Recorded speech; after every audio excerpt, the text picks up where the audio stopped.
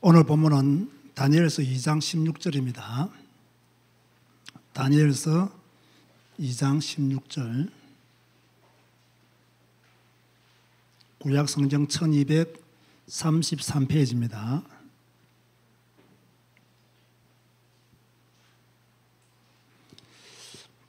다니엘이 들어가서 왕께 구하기를 시간을 주시면 왕에게 그 해석을 알려드리리다 하니라.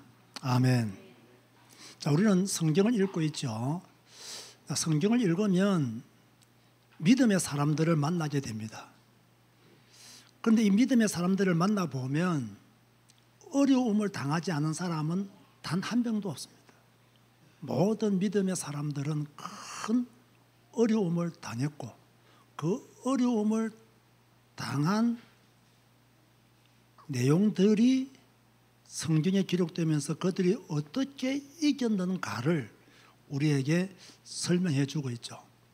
또 그런가 하면요. 성경을 잘 보세요. 믿음의 사람들 중에서 금수저로 태어난 사람 없습니다. 전부 다 흙수저들입니다. 좋은 환경 속에서 배경을 가지고 태어난 사람들보다는 어렵고 힘든 배경을 가지고 태어난 사람들이 많죠. 그 중에 한 사람이 요셉이죠. 어릴 때 잠시 아버지의 사랑을 받았지만 그 후의 삶을 보면 형들의 시기를 받게 되고 구덩이에 빠지게 되고 노예로 팔리게 되고 감옥에 가게 되고 상상하기 어려운 힘든 일들을 많이 겪었지만 요셉은 하나님과 동행하였고 하나님의 축복을 누렸습니다. 요셉은 환경이 좋아서 성공한 사람이 아닙니다.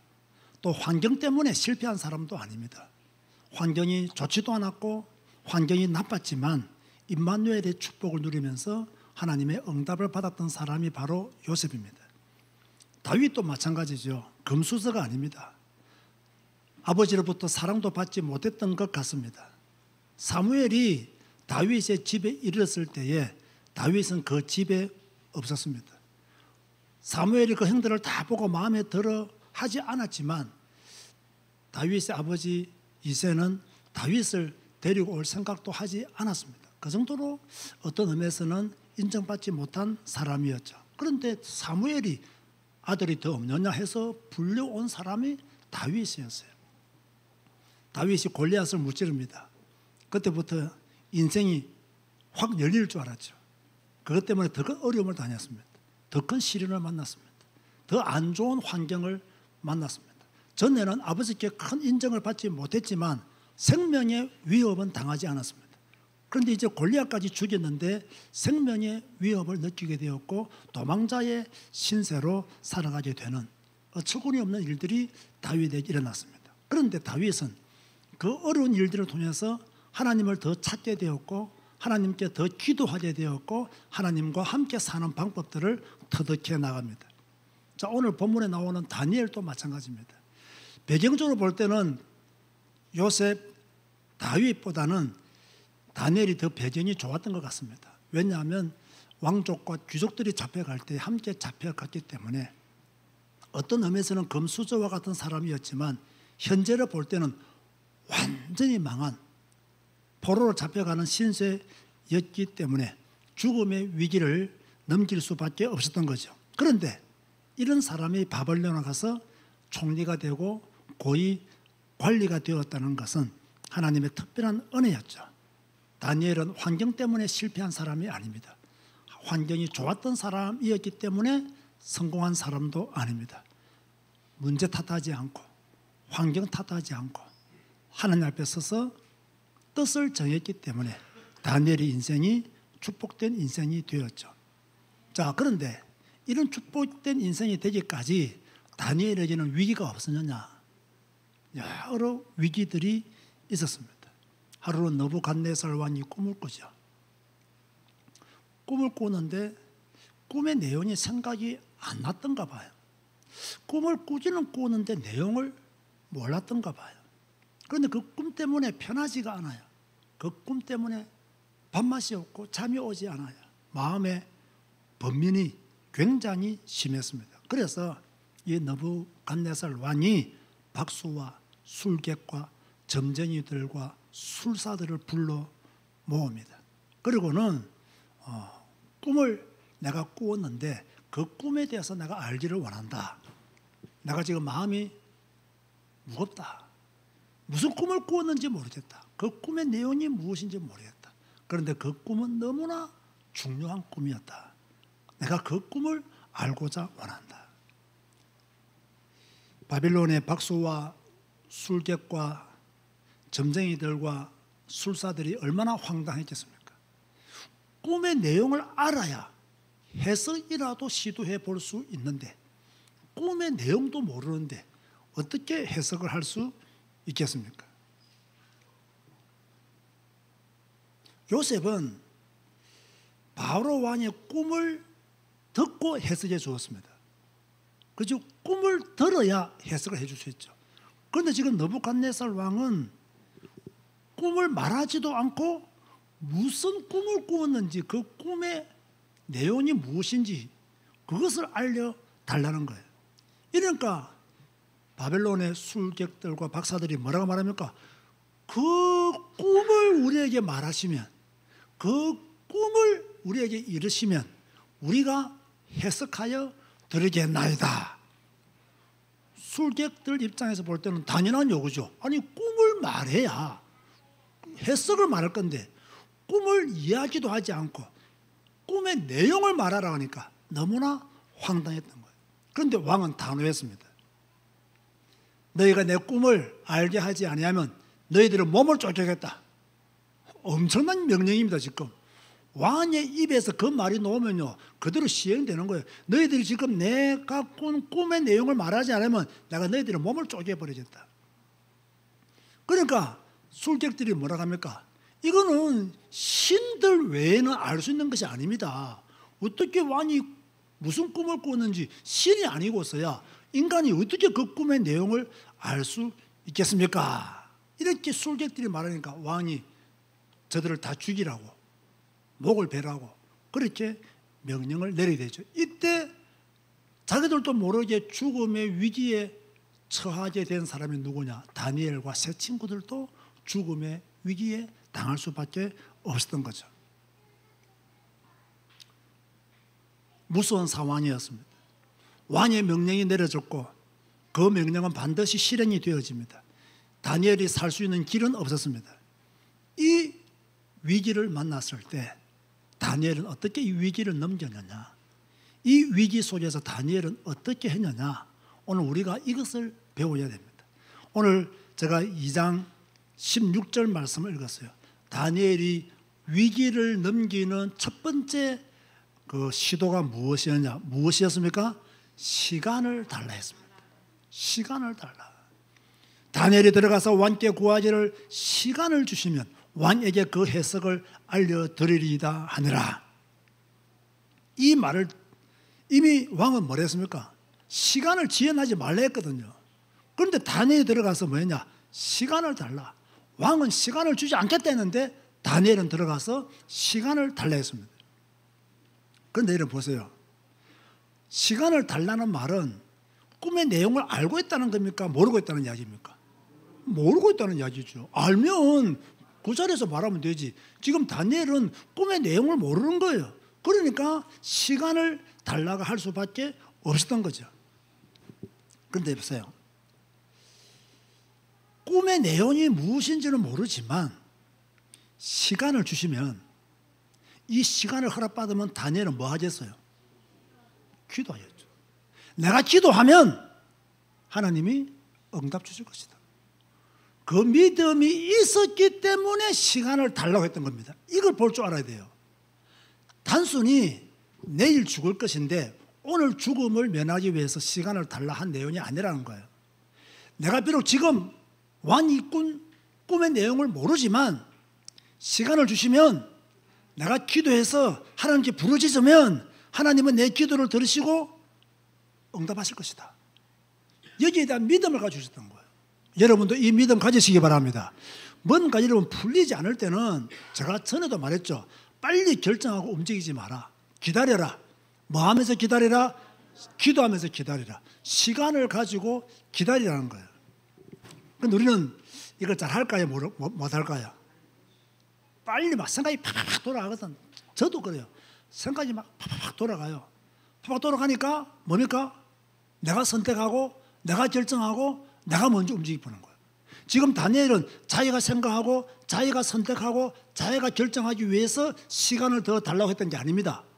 하나님께 기도해서 내가 하나님의 응답을 받는 시간을 가지겠다. 그런 의미로 다니엘은 뭐 했느냐? 시간을 달라는 거예요. 다시 말하면 여러분 어려운 일 만나면 또 어디로 가야 될지를 모르는 일이 있으면 뭐 해야 됩니까? 시간을 가지고 기도하세요. 시간을 가지고 기도하세요. 아, 지금 아니면 안 됩니다. 이런 생각 버리세요. 지금 아니면 더 좋을 수 있습니다. 더 좋을 수 있어요. 자, 여러분 알다시피 제가 요즘 카메라를 배운 데 있잖아요. 그러니까 아, 이 필름 카메라를 한번 좀 찍어봐야 되겠다. 그래서 이제 요즘 필름 카메라가 뭐가 좋냐 이제 자꾸 보는 거예요. 눈이. 그 필름 카메라는 막 좋은 것은 막뭐 100만 원 넘게 하지만 일반적으로 이제 살 수 있는 한 10만 원, 20만 원이면 다 필름 카메라를 살 수 있어요. 참 오래된 물건이기 때문에. 그래서요. 이렇게 뭐 정보를 구하다 보면 야, 이거는 지금 안 사면 못 사겠다 싶은 생각이 들어요. 그런데요. 지금 안 사도 살 수 있는 기회는 얼마든지 있어요. 그러니까 뭡니까? 충동 구매를 하게 되고 거기에 묻혀서 그저 비록 뭐, 뭐 10만 원, 20만 원짜리지만 사게 되는 거예요. 저는 지금 필름 카메라가 없느냐 하면 있거든요. 15만 원 주고 산 우리 선생님이 이 필름 카메라를 써서 사진 공부를 했으면 좋겠다고 해서 제가 15만 원을 중고로 샀어요. 그런데 이거는 또 부피가 커. 그러니까 어디 다니면서 찍기가 조금 창피한 거예요. 내가 뭐 사진 작가도 아니고. 그러니까 뭐 조그마한 것 좀 없나 싶어서 부지런히 보고 있는 거예요. 그런데 와, 이게 너무 좋다는 평가들이 있더라고요. 그게 딱 나왔어요. 얼마 나왔냐? 그것도 15만 원 나왔어요. 그러니까 막 큰 돈은 아니잖아요. 그러니까 아, 지금 사야 되겠다. 이런 생각이 드는 거예요. 근데 샀겠어, 안 샀겠어요? 살려고 준비를 하고 있어요. 한데 뭡니까? 시간을 더 가져보자.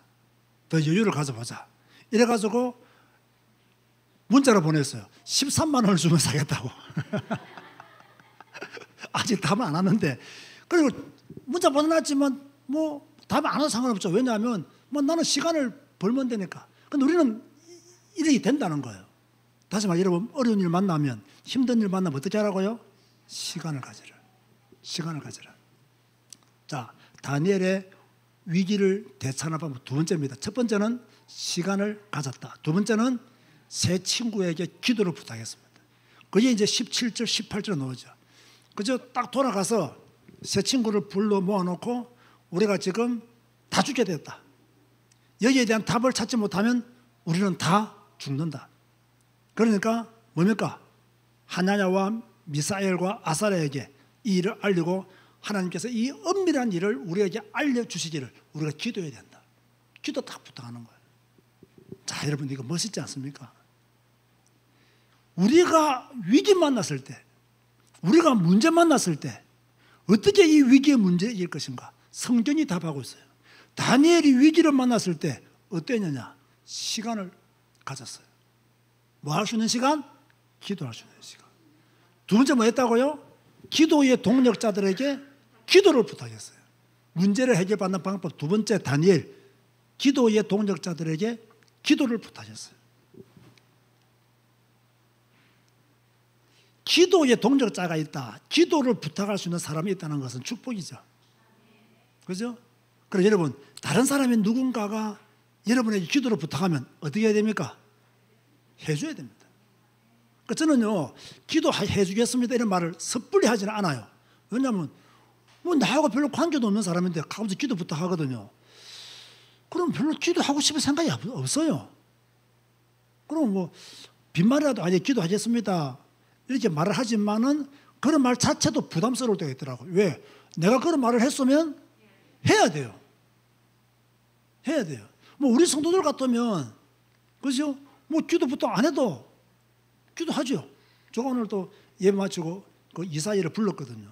이사이가 이제 그동안 미국에서 공부했는데 이제 공부를 포기했다 하더라고요. 그리고 포기하고 어, 자기가 원하는 일, 기도 하면서 이렇게 원하는 일을 발견해서 그 일을 하겠다고 해서 그리고 내가 원하는 일이 뭐냐고 물어봤더니 자기는 모델 이렇게 일을 해보겠다 하더라고요. 그래서 제가 그런 일을 해보고 싶은 생각이 들어서 아, 그래서 그러냐. 그 내가 오늘 그 아침에 우리 윤 전사한테 그 보고를 들었거든요. 이삭이가 미국 가는 걸 포기하고 모델을 데리고 준비하려고 합니다.라고 하길래 아 내가 불러야 되겠다. 그러다 불러서 말했어. 그럼 네가 모델이 된다고 하는데 좋아. 네가 하고 싶은 것 하는 것 목사님은 찬성해. 내가 하기 싫은 일을 하는 것보다는 내가 하고 싶은 일을 하는 것이 훨씬 더 좋아. 그러나 너 한 가지는 해야 된다. 하나님의 응답받고 해라. 내가 하고 싶은 거 하는 것, 그거는 불신자도 그렇게 살아. 불신자도 그렇게 해. 그러나 신자는 내가 하고 싶은 일이 이것인데 하나님께 기도해서 응답받고 가는 게 신자의 삶이다. 유사기가 금방 알았더라고요. 금방 알아들어요. 꼭 응답받고 해라. 네가 응답받고 해야 네가 모델 일을 하다가 어려운 일이 생겨도 그 응답을 생각하고 힘든 일을 만나도 그 응답을 생각하고 위기를 넘을 수 있다. 그리고 이 모델 업계라는 게 흑암의 세계다. 흑암의 문화다. 이 문화 속에서 네가 다니엘처럼 살기 위해서는 응답받고 이 일을 시작해야 된다. 그랬더니 너무 좋아하더라고요. 기도하겠다고. 그래서 목사님도 너를 기도 위해서 기도하겠다면서 기도해주고 갖고 제가 이곳에 강단으로 올라오게 되었거든요. 우리 교회 성도니까 내가 필요하면 불러서 메시지도 주고 기도도 하는 거예요. 그런데 내가 별로 관심 없는 사람 기도해 달라면요. 좀 이렇게 기도해 드리겠어는 말을 잘 못해요. 그런데 보세요. 누군가에게 기도를 부탁할 수 있다는 것은 믿음의 생활을 성공적으로 했다는 사람입니다. 그리고 여러분에게 누군가가 기도를 부탁하면 어떻게 하라? 진심으로 받고 진심으로 기도해. 그런데 문제는 뭐냐면요. 너무 엉뚱한 걸 또 기도 제목으로 가져온 사람들이 있어요. 그러니까 기도를 해주겠다고 말을 못 하는 거야. 내가 볼 때는 너무 엉뚱한, 황당한 기도 제목이야. 물론 그분이 볼 때는 황당하지 않을 수 있겠지만 내가 볼 때는 너무 기도 제목이 하나님께 영광이 안 되는 것 같아. 그런 기도 제목을 좀 가지고 오지 마시고 하나님께 영광이 될 만한 기도 제목들을 가져오시면 우리가 함께 기도할 수가 있는 거죠. 그래서 다니엘은 충분한 시간을 가지고 기도했는데 친구들과 함께 부르짖는데 19절 말씀 보니까 하나님께서 다니엘에게 은밀한 일을 보이셨다. 이에 이 은밀한 것이 밤에 환상으로 다니엘에 나타나 보임에 다니엘이 하늘에 계신 하나님을 찬송하더라. 아멘. 기도하니까 하나님이 밤에 환상으로 나타나서 다니엘에게 그 은밀한 것을 왕이 무슨 꿈을 꾸었는지 왕의 꿈 내용이 무엇이며 해석이 무엇인가에 대해서 하나님이 그 은밀한 것을 다니엘에게 보여줬다는 거예요. 자, 그렇다면 여러분들이 어떻게 위기를 넘어가야 되겠습니까? 어떻게 여러분들이 문제를 해결받아야 되겠습니까? 간단합니다. 빨리빨리 결정하고 빨리빨리 행동하고 움직이지 말고 뭘 가져라? 시간을 가져라. 그 시간 동안 뭐 하라? 기도해라. 그리고 기도의 동력자들에게 기도를 부탁해라. 그죠? 기도를 부탁해라. 그러고 기도하면 하나님께서 응답의 시간표를 주신다는 거예요. 자, 똑같은 겁니다. 결론입니다. 너무 서두르지 마세요. 너무 성급하게 뛰어들지 마세요. 말도 너무 성급하게 하지 말고 행동도 너무 성급하게 하지 마세요. 다니엘처럼 여유를 가지세요. 다니엘처럼 기도할 수 있는 시간을 가지시기 바랍니다. 그리고 뭐 해야 됩니까? 기도의 동력자들에게 기도를 부탁하세요. 기도를 부탁하세요. 그러면 하나님이 우리의 기도를 들으시고 응답해 주신다. 라는 것이 다니엘이 어떻게 위기의 문제를 대처했는가, 넘겼는가에 대한 답이죠. 제가 오래전에 이런 간증을 한 적이 있습니다. 어, 저도 이렇게 목회자로 살면서 위기를 당할 때가 많이 있더라고요. 어려운 일들을 만날 때가 많이 있더라고요. 뭐 얼마 전에 제가 결단하고 여러분에게 말했던 것도 사실은 쉬운 것은 아닙니다. 참 어렵고 힘든 결단을 하는 것이고 그 결단을 하기까지는 많은 시간과 많은 고민과 또 많은 기도와 또 하나님의 사인을 기다리면서 기다리면서 결정을 했어요. 저는 오히려요 뭐 물건 같은 거 하나 사는 것은 빨리 결정하고 빨리 선택해서 움직이는 경향이 많은데 하나님 앞에서 응답 받아야 될 문제라고 생각이 되어지면 좀 오랫동안 기다리면서 기도하는 아, 그러한 모습도 있거든요. 그럼 저는 위기를 만나면 어떻게 하느냐? 내가 어려운 일을 만나면 어떻게 하느냐? 딱 무릎 꿇고 전능하신 주여 종이 주님 앞에 무릎을 꿇었나이다. 저는 이 기도를 제일 먼저 요. 주여 내가 무릎을 꿇었나이다. 내가 왜 무릎을 꿇었나이다라는 말을 하나 앞에 강조하냐면 내가 오죽 답답했으면 무릎을 꿇었겠습니까? 내가 평소 때 무릎 꿇고 기도하는 사람도 잘 아닌데 내가 지금 이렇게 주님, 주님 앞에 무릎을 꿇은 것은 내게는 너무나 급한 일이기 때문에 내게는 너무나 중요한 일이기 때문에 내 미래와 우리 교회가 관련된 일이기 때문에 주여 내가 전능하신 주님 앞에 무릎을 꿇습니다. 전능하신 주여라는 말을 또 왜 붙이느냐? 주님은 전능하시니까 내 문제 해결하시기에 충분한 능력을 가지고 계시는 분이기 때문에 그렇게 다 주님 앞에 무릎 꿇어나이다. 딱 기다려요. 무릎 꿇고 기다려요. 전능하신 주님 앞에 무릎을 꿇었으니까 기다려야지 뭐. 그죠? 뭐 내가 뭐 할 게 뭐 있습니까? 기다려야지. 하나님이 응답을 주시든 마시든 하나님의 시간표를 내가 기다려야 되는 거예요. 한참 기다리고 있다가 답이 없잖아요. 그러면 두 번째 기도합니다. 내 문제를 아시는 주여 해결하여 주옵소서. 두 번째 기도. 내 문제를 아시는 주여. 내가 지금 무엇 때문에 고민하고 있는지, 내가 지금 무엇 때문에 힘들어하고 있는지, 내가 무엇 때문에 지금 무릎 꿇고 있는지 내 문제를 아시는 주여 해결하여 주옵소서. 이 문제 해결하실 분은 전능하신 주님 분이십니다.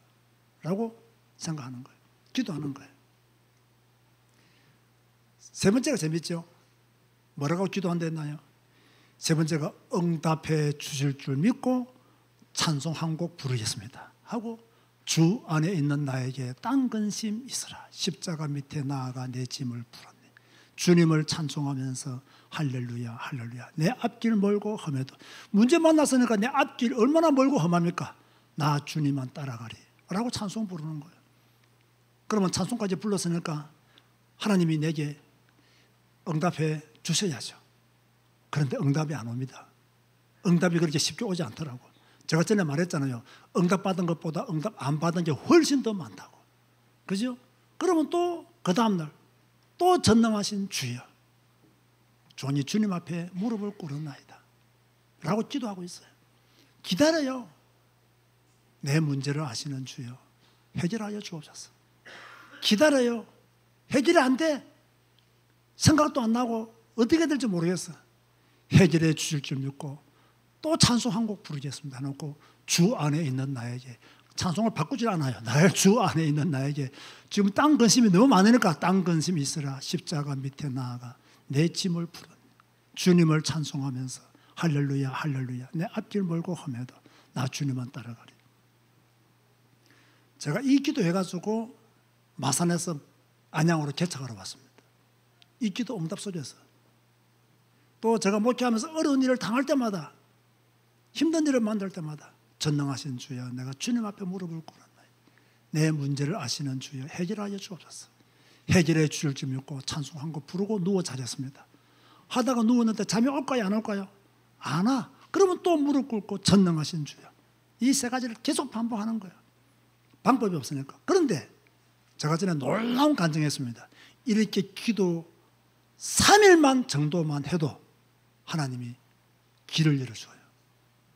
하나님이 저 멀리서 손바닥만한 구름을 다 보내줘요. 그거 딱 붙잡고 일어서면 그때부터는 길이 열리는 거예요. 힘든 일도 있고 어려운 일도 있지만 길이 열리는 거예요. 그 저는 이런 감정을 가지고 있어요. 이런 체험을 가지고 있어요. 그 저는 위기 만나면 어떻게 하겠어요? 딱 무릎 꿇고 전능하신 주여. 존이 주님 앞에 무릎을 꿇었나이다. 내 문제를 아시는 주여. 해결하여 주옵소서. 해결해 줄줄 믿고 찬송 한 곡 부르겠습니다. 3일만 기도하면 어디선가 손바닥만한 구름은 보입니다. 어디선가 문제 해결의 방법은 보이더라고요. 이번에도 마찬가지죠.